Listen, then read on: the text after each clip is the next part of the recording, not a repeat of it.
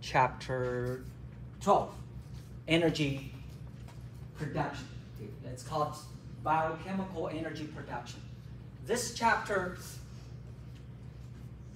starts the second half or second two-thirds of biochemistry.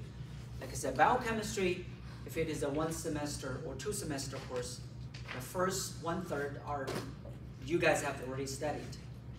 What are these biomolecules? Proteins, lipids, uh, nucleic acids, and carbohydrates. Okay, an introduction of these biomolecules. And then the second two-thirds or second half, uh, biochemistry becomes more interesting, talking about how these molecules are metabolized, are synthesized, are utilized, are degraded, are, are hydrolyzed, and everything inside our cells. Okay, it is a huge part of biochemistry. And of course, today we only started giving you an overview of this whole process and hopefully summarize can kind of like a like a tiny bit if you want to interest more if you study further courses uh, you will get deeper in, in, in, that part. Okay it's a very brief introduction about uh, a very common word you're going to hear and see a lot called metabolism. So let's take a look. What is biochemical energy production? And uh, what is metabolism. Okay, this word again is the second half of biochemistry. Metabolism is the sum total of all the chemical reactions or biochemical reactions in a living organism. Okay, all the reactions, it's called a metabolism. Okay, the reaction has two directions. Okay, those reactions can be divided into two directions. One direction is the large molecules we take from our diet, carbohydrates, lipid, protein, nucleic acids, are what? Hydrolyzed, divided, and then become what? Smaller ones. Okay, we're, then, we're gonna uh, ingest it, digest those. And that direction of metabolism, those reactions, like chop them off into smaller ones, is called catabolism. And the other direction is we use these small molecules, amino acids, monosaccharides, nucleotides or nucleosides, to make our own large molecules, to make, make our cell grow, to make our body grow. It's called anabolism. Okay, anabolism. So metabolism can be divided by two directions. Okay, divided in two directions. In, in this chapter, in this chapter, we won't study or we won't focus on that direction, synthesizing big molecules. Like I said, we briefly talk about in the first few chapters what our made, big molecules are made of. Monosaccharides, amino acids, nucleotides, and lipids. But their synthesis is a huge part of biochemistry. In this chapter, we talk a little more about this direction, catabolism. Meaning, meaning means what? How do we digest large molecules from diet into smaller molecules? And during this process, okay, during the, one of the main purpose of this direction, not only is we get these small building blocks for our own molecule, but also in this process, one of the main reason is, or purpose is to produce energy, right? We need energy to survive. For every single process of us, movement, contraction, muscle contraction, or even cell reactions need energy. So one of the purpose of this direction is to produce energy. Okay, to produce energy. That is why we title of this chapter is biochemical energy production. Okay, energy production. Now, speaking of metabolism, like I said, we don't go any details about metabolism. Uh, most of biochemical reactions are stepwise. They won't be completed by one step.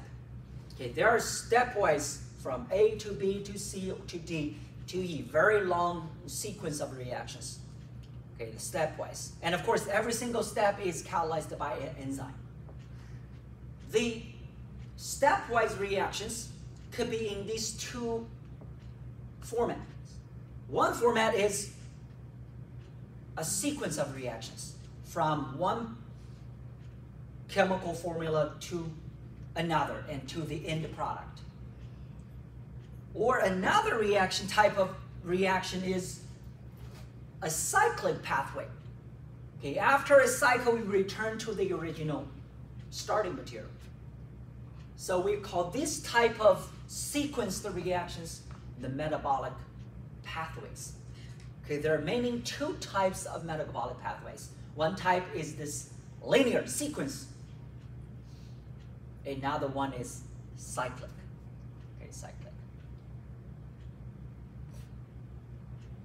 And like we said in chapter 10, okay, these metabolic pathways are often regulated by feedback inhibition. What is feedback? The product inhibits what? The first enzyme of a metabolic pathway. Okay, that's a very smart way of living things does because the product would tell, hey, do I need to do we need to keep going this sequence or you need to stop or slow down? Okay, this is a very smart nature design, smart way of regulation nature designs. So these are again some overviews. Right? Now next, in order to study biochemical energy production, we need to know where energy production takes place. Okay, our cells are called eukaryotic cells, so we're more advanced cells. And the functional parts of our cells are enclosed by membranes. And we call those enclosed parts, compartments, organelles. Okay, you guys study biology or microbiology or A&P, I don't know. These are small compartments that carries a function of a cell, just like our organs in our body. Okay, these are organelles. And this is an overview picture of a cell, some major organelles of a cell. The nucleus, the ribosome. Okay, you guys study ribosome is what? Where proteins are synthesized. The membrane of our cell, and more importantly, okay, most importantly, in this chapter, we're gonna take a look at these sausage-like organelles. There's a lot of them inside our cell, in the cytoplasm, in the, in the, in the cytoplasm of, of the part of the cell.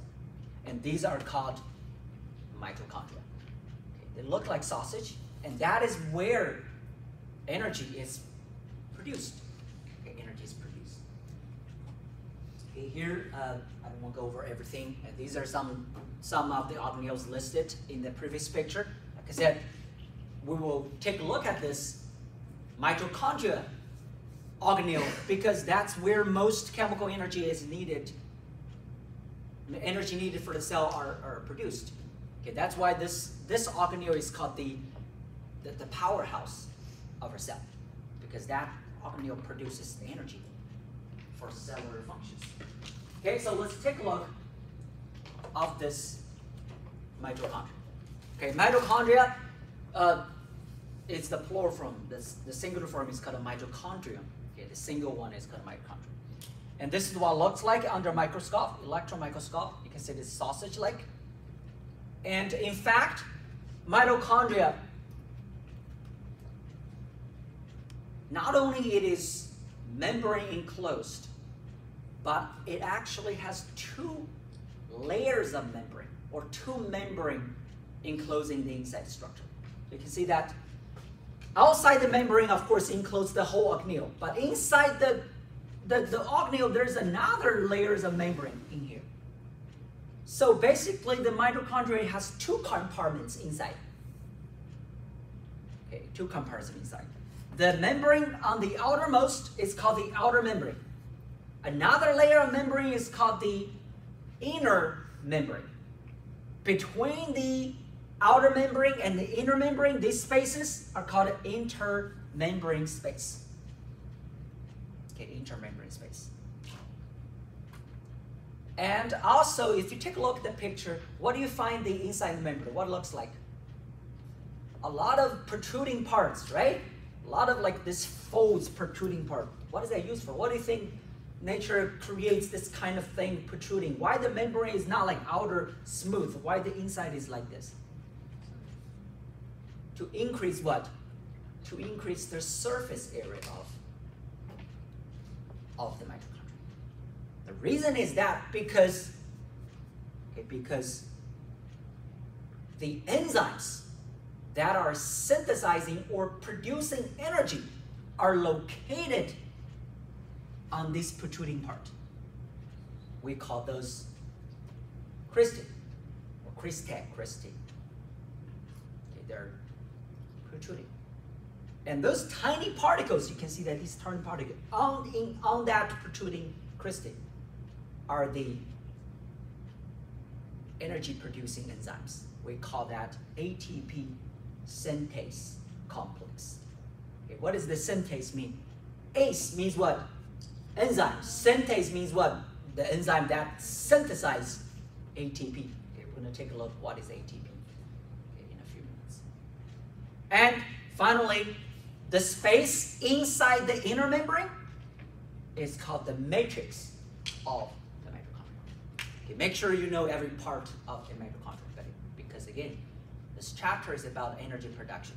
Okay, outer membrane, inner membrane, crystal, matrix, and inner membrane space. And where is ATP synthase located? It's on the crystal. Again, the reason he has that like this is you want to increase what? The area, the surface inside it, because so that you have a lot more energy can be produced at the same time. Okay, you guys studied anatomy, right? Our internal intestines is like this, right? The small intestine is like that. There are a lot of protruding parts. Why? Because we want to increase the surface areas to work, to better absorb the nutri nutrients. Same idea. So, before we study the energy production, we first need to take a look at some key intermediates, or key chemical compounds, of course, called metabolic intermediates. Those are associated in this catabolism pathway, the direction for energy production.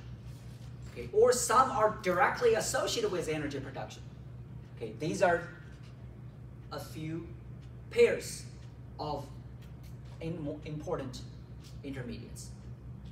The first group or pair is ATP, ADP, and AMP.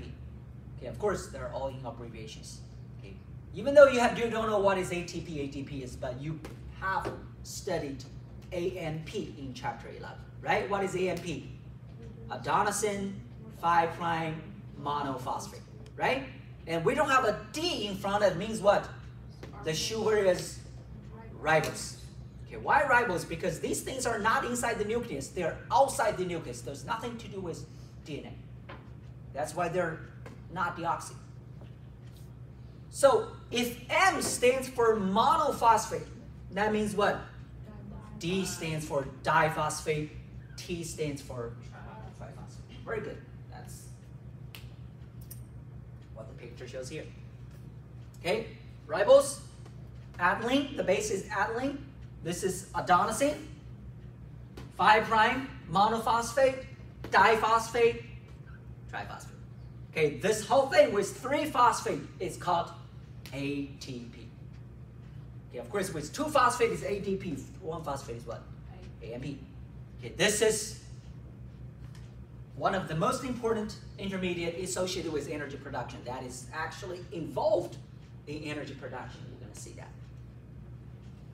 Another group shown here. Okay, I know you guys have been talking about this before. NAD plus NADH. FAD, FADH2. Okay, we're gonna see their full names later. Okay, these two groups are pairs of compounds. Okay, by looking at the formula or the abbreviation, you can see that the difference between each pair is what? Hydrogen. Okay, hydrogen. Hydrogen is not abbreviated, just hydrogen atoms. So these intermediates are involved in what? Accepting or donating hydrogens. And we studied before, in organic chemistry, when you give hydrogen or add hydrogen or remove hydrogen, these reactions are called what? Oxidation or reduction. So these intermediates are involved in the redox process. Whenever there's an oxidation reduction, this will be involved. If you want somebody to take the hydrogen, these one of these two will take the hydrogen. So whatever has the hydrogen, FADH2 and NADH are what? Are they reduced form because they take the hydrogen in. They are involved in redox reactions. Okay, during the energy process, the energy generation process, half of those reactions in the pathway are redox reactions. That means those reactions are catalyzed by what? Oxidoreductase. And finally, the last pair important intermediates are called coenzyme A and acetyl coenzyme A. We'll show the structure of coenzyme A later, but the difference between coenzyme A and acetyl coenzyme A is apparently this group, called acetyl group. Okay, you guys have seen acetyl group many times, in fact, before. acetyl group is a two-carbon group, CH3CO double. So what does acetyl coenzyme A does is what? To transfer a two-carbon unit in the metabolic pathway. Like a carrier. This guy carries what? The uh, acetyl group. Okay, again, you will see more details later. I just want to show you I bring out the names abbreviation first, then we'll see them in their action when we study metabolic. Okay, again, first one is the structure of ATP because I've studied already. Okay, so again, let's take a look. What is the the simplest or simplified version of the catabolism or of that direction of metabolism of breaking down large molecules and most importantly how energy is produced. Okay, it can be coarsely, coarsely separated into four stages. Okay, again, we're doing the very superficial part of biochemistry. We're using one chapter summarizing probably five or six chapters if you really study biochemistry. Okay, these four stages are listed here. Stage one, stage two, stage three, and stage four. These four stages are again in the direction of what? Catabolism, breaking down large molecules.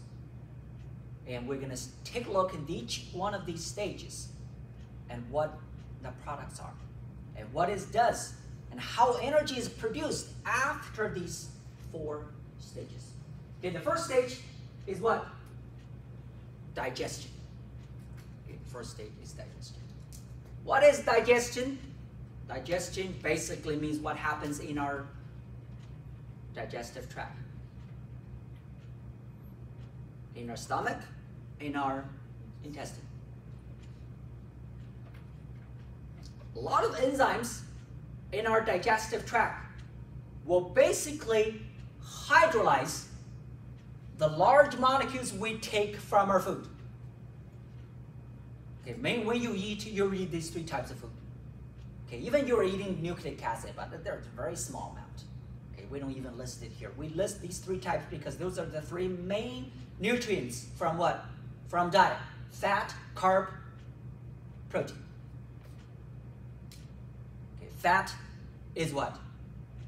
Triglycerides, right? If you guys remember, we studied fat and oil. What's fat and oil? Triglycerides. Carbohydrates, mainly you take your carbs food starch containing carbs, potato, uh, noodle, rice, bread, everything carbs.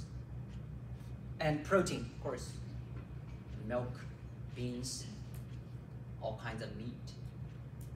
These large molecules will be hydrolyzed by the enzymes in our digestive tract, mostly inside our intestine. And after they're digested, the large molecules become what? They're small building blocks. Triglycerides become what? Glycerol and fatty acids. Ester bonds are cleaved. Carbohydrates become monosaccharides, mainly glucose. If you're eating starch, they're basically glucose. And finally, proteins become what? Amino acid. Okay, that's digestion.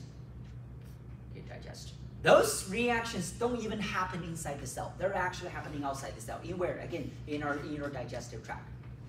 And after they're digested, they will be absorbed into where? Into your bloodstream to be utilized by cells. Okay, that's the first stage. Okay, this is what happens in digestion. Saliva enzymes such as amylase you guys used actually in the lab will start that in your mouth to digest starch through the esophagus. And then gastric juices in the stomach will continue that digestion. And then mainly the digestive enzymes and bile salts in the small intestine will liberate these small molecules. Okay, most of the digestion happens here, of course, in the small, small intestine. And finally, these small molecules will cross the intestinal membranes to the blood and then transported into what? Into your cells across your body. So these are, again, what's really happening in, in, in digestion. Okay? here are what you will get for each type of biomolecules. You can take a brief look. I won't spend too much time in here. Just this is what happens for carbohydrates. Okay, you can see that saliva will change that to what? And in small stomach and small intestine, they will become what? And eventually, they will be across crossing the membrane of this. This is what happens for carbohydrates. This is what happens for protein. Okay, this is what happens for triglycerides, fat and oil. Okay, again, this is more like anatomy physiology, what happens in your digestive tract. Okay, you guys probably study more than this. I just want to show you what each biomolecules, when they pass through our digestive tract, what they become to in different stages. Okay, if you're interested more, you can read. All right, next stage. After digestion, we have tons of these small building blocks, fatty acids, glu glucose, and amino acid. These small building blocks inside the cells will undergo the metabolic pathway. Okay, linear ones. Each one will have a series of undergrad. That's why this, these are five or six chapters. Each group of molecule will cover one chapter or two. If you study biochemistry, it's very interesting. You will find the most interesting part of biochemistry is study these reactions. Okay, we'll see how amazing our cell does. Okay, but no matter what type of small building blocks you got from digestion, they ended up with the same thing a two carbon building block. What is that two carbon building block? The acyl group. What is the acyl group? CH3 CO double bond. This is the uh, acetyl group. Okay, the production of this uh, two carbon unit is the second stage of biochemical energy production.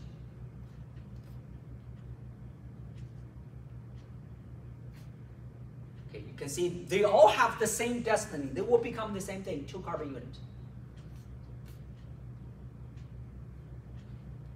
Of course, this two carbon unit is not free. They have to be carried by someone. And if you guys remember, the carrier of the two carbon unit is what? Is coenzyme A. Okay, coenzyme A. CO, capital C, lowercase o, stands for coenzyme. A is the name of the coenzyme. Okay, this is the structure of coenzyme A. You can see that here. At the end of the coenzyme A, there's a sulfur, the thiol group which will make a thioester bond, very similar to an ester bond. Ester is what? COO, this is COS. Okay, it's very similar, but this bond is easier to be cleaved. Why? Because you want to, to use the acyl group right away. So that's why it is a very nice carrier for this two carbon unit. Okay, this two carbon.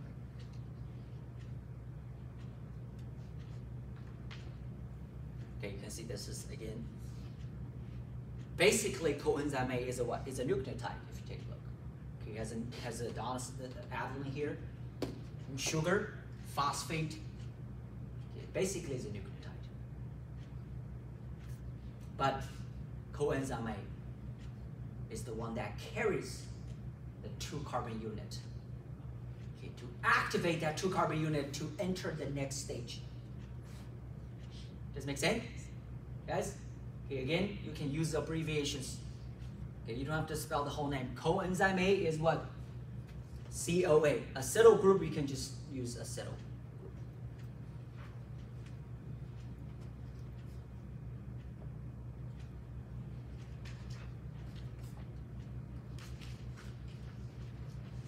After the second stage, okay, after the second stage, all these small building blocks become what? Acetyl coenzyme A. Again, they're carried by coenzyme A.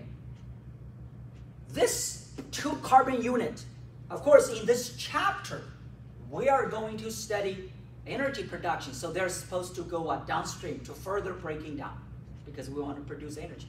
But this guy, like I said here, is used as a what? What's that called? How do you guys, what is this? What is mirror? um, different, like a lot of different pathways. Right? Like what? Like kind of like a central part, like a starting material for what? For different pathways. Okay, take a look at the picture here. The acetyl coenzyme can be used, of course, later on to produce energy, but mostly they can use what? To produce all kinds of biomolecules. Okay, especially fatty acids. Okay, these two carbon units can be used to build our own fatty acids. And if you guys remember in chapter 8, when we study fatty acids, we learned a fact. Fatty acids are always even numbered. You guys remember that? From 12 number to 20 number. Why they're always even numbered? Because they're synthesized by what? By the two carbon unit. So if you want to build on the fatty acid, you have to build on by what? By two. How can you get an odd number? You cannot because the units are two carbon number.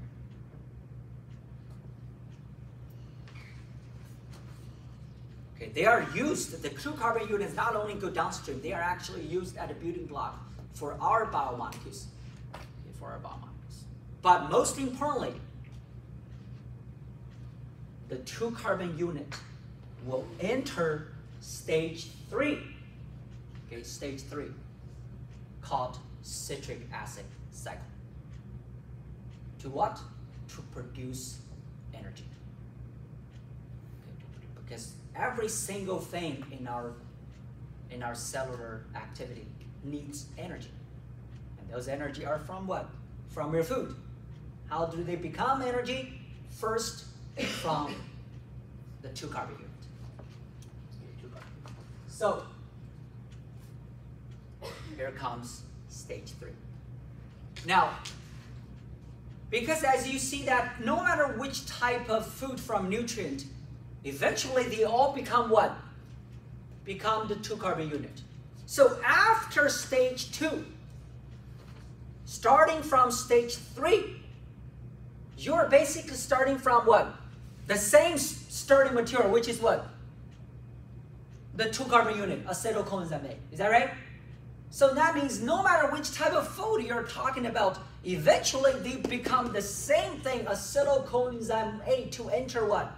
To enter stage three. So sometimes we call stage three and stage four the common metabolic pathway. What does common mean? Everyone shares the same now, but now become the same thing. You don't discriminate. You don't ask, hey, wh where does this acetylate come from? It doesn't matter where it comes from. Glyceride, uh, triglyceride, or protein or, or, or carbohydrate.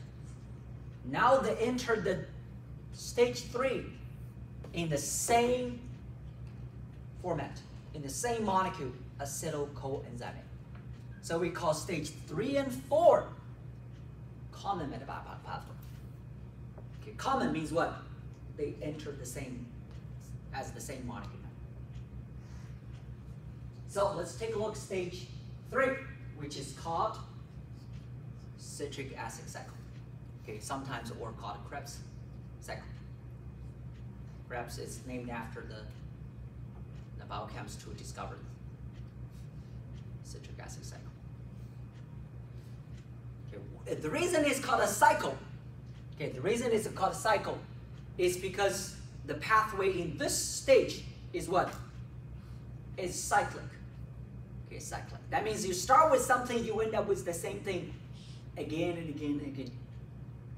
Okay, you will find it's very, very nice way nature designs. Again, like I said, when you study these, you will find that how this life thing is possible.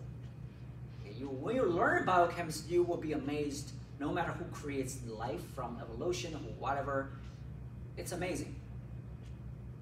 It's truly amazing because these biochemical reactions. Okay, but first, I want to show you what are the results. Okay, what do you get from stage three? Before we take a look at the stage three. This is the overall reaction of stage three. Okay, what happened in stage three? Before the reaction, we have what? We have the acetyl coenzyme. That's what enters stage three. And in stage three, we need these intermediates. We need three NAD plus. We need one FAD. We need a GDP. What does GDP stands for? Guanosine diphosphate. Just like ADP, this is now GDP. It's also a purine base. And then we need phosphate in water. Okay, these are the materials we need for stage three. And after that, these are something that are produced. Acetyl coenzyme A, acetyl group is gone. You have what? Free coenzyme A. And where does these two carbon go? Remember, this is how many carbon? Two, carbons. Where do they go? Carbon dioxide. That's why we breathe out carbon dioxide, right? You know you're breathing oxygen, you breathe out the carbon dioxide. Where does the carbon dioxide come from? From these two, from the stage three, citric acid cycle. And then FAD becomes FADH2. NAD plus becomes NADH. Three, of course, becomes. And finally, the GDP becomes GTP. You means what? You add a phosphate. That's why you need what? You need one phosphate here. You see that? This is the balanced results, the net reaction of stage three. So if you take a look at the result, you may wonder, then what's the purpose? What do you think the purpose of stage three is? The purpose of this stage is basically what? Oxidize the two carbon unit breathe out carbon dioxide. Then more importantly is to what? To generate these two guys. Not energy yet. To generate these two guys. Remember, you oxidize something, you need to reduce something. Who are reduced? NAD plus and FAD are produced. These are the reduced form. You see that? These are the most important results, if you want to ask, for stage three, is what? Produced the reduced form of NADH, NAD and FAD. Of course, there's a byproduct, GTP, which is a, small part of energy produced as well. The main purpose of stage three is these two guys. They will be used in stage four later. Okay, so let's take a look at the citric acid cycle. Citric acids. In my class, I'm not asking you to, to study every single reaction, but I recommend you to take a look at each reaction and at least know what type of enzyme is used. Remember we studied in chapter 10, right? Ask you to look at a reaction, even your test, look at a reaction, determine, hey, is this reaction catalyzed by oxidoreductase, transferase, hydrolase, ligase, these eight reactions, each one is catalyzed by one type of enzyme. Okay, you will see that they're very simple because the structure are related. Okay, structure related. Okay, I'll tell you more detail, but take a look at this cycle. This is the first step. There are eight reactions. This is the first step, is the acetyl coenzyme A enters what? The cycle. You guys see that? You guys see that? Now take a look. How does it enter the cycle? Breaks the double bond of oxygen. It actually starts with a four carbon compound. After this enters, the four carbon compound becomes a what? Six carbon compound. You guys see that? This guy has six carbon now. This guy has four carbon. I don't need you to know this reaction. This this reaction is basically actually catalyzed by lyase. Okay, a lyase reaction, adding something. And then after this, this guy has what? Has six carbons.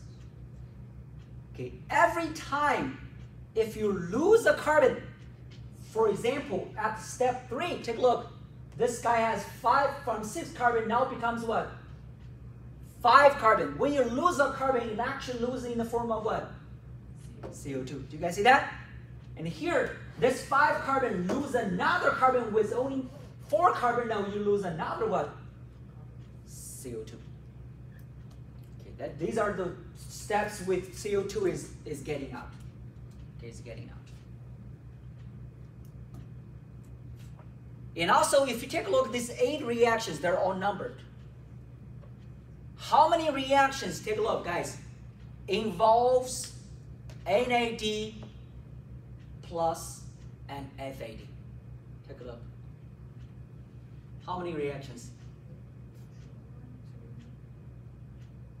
Three involve NADH. How many reactions total involves NAD and FAD? Four reactions. Step what? Three, four, six, and. Means what? These four reactions are oxidation reactions. Whoever the molecule there got oxidized, then what gets reduced? NAD plus and FAD gets reduced. That's why you, they become what? NADH and FADH2. Okay, these are some facts about the citric acid cycle. Like I said, I, I won't ask you the detailed reactions, but I do want you to take a look at each reaction and ask yourself, what do you think the type of reaction is? Especially what type of reaction, what type of enzyme catalyzing that reaction. All citric acid reactions occur in the matrix, except step six occurs in the inner membrane. I mean, between the inner and outside the membrane. Okay, the other reaction also inside the matrix. That's why I said the powerhouse of cell, the mitochondria. The fuel of citric acid, acid cycle apparently is what? Is the two carbon unit acetyl coenzyme A. And those two carbons eventually they leave the cycle in the form of what? Of CO2. Some heat will be released as well. Four of the reactions, we said three, four, six, eight are oxidation and redox reactions. The oxidizing agents are NAD plus and FAD. Of course, they will be reduced. NAD plus, the CO double bond inside it will be reduced. FAD, the CC double bond will be reduced. That's how they carry hydrogen. Okay, you might wonder, how do they carry hydrogen? They have CO double bond or CC double bond. And of course, like I said, the purpose, if you want to ask, what do you think the most important reason for a stage for this cycle is what? Is the production of these two, these guys. That will be carried to stage four. Okay, carried to stage four. The meantime, during the cycle, a high energy substance, GTP, is also produced which is one equivalent of ATP. Okay, one equivalent. Okay, GTP, ATP, they can interchange with each other. So these are the results for citric acid cycle. And most importantly, the cycle always goes on and on. The only thing that's entering the cycle and leaving the cycle are what? Are the carbons. Okay, two carbon unit, two carbon unit. During these reaction, of course, you want to generate the reduced form of NADH, NAD and FAD, which will be used in stage four. GTP doesn't use stage four. GTP is done. They can, they can, GTP can convert to ATP if needed. Okay, but the most important purpose of stage three is to generate NADH and FAD. Now after that, the NADH and FADH2 from stage three will enter stage four, which is called electron transport chain and oxidative phosphorylation. Okay, this is the real stage in which energy is produced. Real stage in which energy is produced. We didn't talk about before, but I want to say here. When you produce energy for a biochemical system, for a cell, the energy has to be stored by someone. Okay, you cannot just produce free energy, then they just heat. Okay, they just only warm our body, body. We cannot use the energy. We cannot use heat directly. We can the heat can keep us warm, but we cannot use the energy to do anything. In order to do anything, the energy has to be carried by a biomolecule, by an intermediate. That molecule is the one we mentioned earlier, ATP. Okay, ATP. So in stage four, the main purpose of stage four, called electron transport chain and oxidative phosphorylation, is what? Is basically the production of what? Of ATP. What is energy? ATP is energy for us. Because again, we cannot just produce free energy. We have to store the energy in somewhere. So we that use that energy, and that energy is stored in where? In the chemical bond of ATP. If we need, we use the energy from ATP. We hydrolyze ATP. We use the energy. So the purpose of stage four is basically what? Making ATP. Okay, no matter what cellular process needed, if you need energy, the energy has to be from ATP. Okay, so let's take a look very briefly the stage four of the, of, of energy production. Okay, stage four happens inside mitochondria as well at the ATP synthase complex. NADH and FADH2 supply the fuel needed for ATP molecule, for the produce, production of ATP. That's why I said the stage three, the purpose of stage three is to what? To make NADH and FADH2 because they are fueling the energy production system. Okay, we'll just take, take a picture right away after this to show you how it works. And during this fourth stage, stage four, the oxygen, okay, the oxygen we breathe in is used here.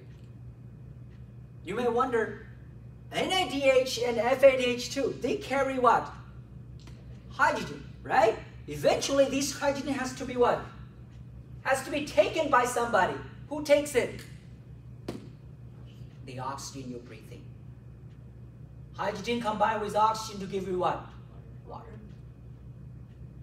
Okay, that's where oxygen is used. Oxygen, we're breathing oxygen used in where? In the fourth stage of, the stage four of the energy production. We didn't use anywhere else. The other places don't, you don't need oxygen. Oxygen is used here to accept where? To accept the hydrogen from stage three.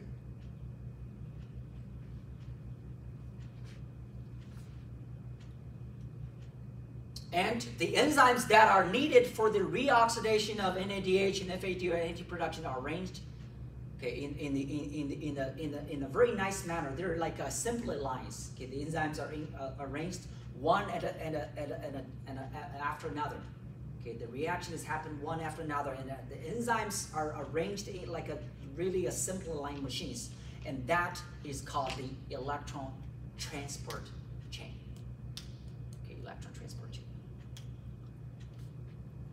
And finally, the reason we have, okay, we have the energy needed to produce ATP, the driving force is something called a pH gradient. Okay, the pH gradient. Let's take a look at the picture, you will get a better idea about the fourth stage. Okay, you can see that there are two complexes. One complex of enzyme takes NADH. Another complex enzyme, they take FADH2. No matter NADH or FADH2, they are basically fueling these complexes to pump hydrogen plus from one side of the membrane to another. They keep pumping the enzyme to one layer, to, to, to, to one, one side of the layer. And because there's a difference of the potential of the, of the hydrogen plus, of the proton, so the pH of these two layers is different. And that is the driving force for what? For ATP synthesis. Okay, for ATP synthesis. The pH gradients of these two layers caused by NADH and FADH2. So that means if the, if the pH is balanced, then the reaction would not happen. No, you have to have the proton, like a, gradients. Eventually, okay, eventually the proton transfer, you can say the last step, you can say the proton, because of the gradients, proton pumps back, you make ATP. Because of the high potential of that one layer, driving the what? the synthesis of ATP. Okay, again, we are only giving a very brief production. This, this complex of, of, of, of assembly line is also very interesting because of the electron potential of these layers, okay, causing the, give you the energy of making ATP molecules. Okay, but there are two complex, two groups of assembly lines. One group takes FADH2, another group takes NADH. Okay, of course, this is the citric acid. It's like supplying, keep supplying FAD and, and NADH2. Okay, if you're interested, I, I have some readings in, in that uh, part as well. All right, so again, of course, in the last part is the oxygen you breathe in eventually would, will accept the proton uh, from NADH and FADH2 to, to produce water. Finally, like I said, the whole four stages are basically producing what? Producing ATP. Okay, the final product is ATP production. That's the reason for these four stages. And meanwhile, all life processes your muscle contraction, nutrient transport, synthesizing, anything that is energy is what? Is from ATP. So this is the turnover of ATP. At the fourth stage, how ATP is synthesized? By adding a phosphate to what? To ADP. And then after you have ATP, whenever you use the energy, you will what? Break down ATP into ATP and the phosphate. So this process turn over very fast in our cells. You need energy, you make ATP. You use the energy, you use what? Energy from ATP. So that bond between the diphosphate and the triphosphate, that particular bond, stored a lot of energy for us to use. Okay, when you hydrolyze the bond, you produce energy. When you make the bond, you what? You store the energy. The energy is stored in the form of that chemical bond, okay, in that particular chemical bond. And sometimes, not common, If you change ATP to AMP, you can release more energy, but that's not common. Okay, usually you only take energy from ATP. But the second phosphate also contains some energy, but in rare cases you will use that part. Okay, it does happen, okay, but not common. Okay, this is the common turnover of ATP breaking down and synthesis. And finally, you may wonder, for each cycle, for each two carbon unit of acetyl coenzyme A, how many ATP molecules will be produced? Okay, different sources, different take books, takes because the, the actual number varies. Okay, this is one from your book. For each NADH around 2.5, some books says 3. Okay, around 2.5 ATP will be produced. For each FADH2, around 1.5 ATP will be produced. So remember, in each cycle, we have how many NADH? Three, right? So from NADH, there are approximately 7.5 ATP, plus that 1.5, 9 ATP. And then we know from the citric acid cycle, we also have a GTP, that is the equivalent of ATP. So total, in your book, 10 ATP will be produced per one fuel molecule, per one two carbon unit. 9 ATP from where? From stage 4. 1 ATP is from GTP. Okay, somewhere says 11, some books. Okay, but here, your book, 10 ATP molecules per what? Per cycle with the fueling of acetyl coenzyme. Okay, that's called the yield, the theoretical yield of ATP production. Right? That is all for this chapter, and this is the summary of this chapter. We don't have a quiz for this chapter, so these are the something uh, you need to study for for chapter 12. Okay, something you need to know, just go back again. Study the notes will be enough for knowing all this. Okay, you don't need to read the book.